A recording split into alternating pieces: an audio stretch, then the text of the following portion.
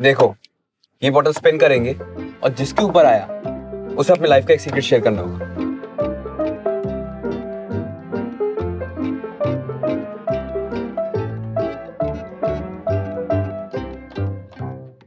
Actually उस दिन father day था।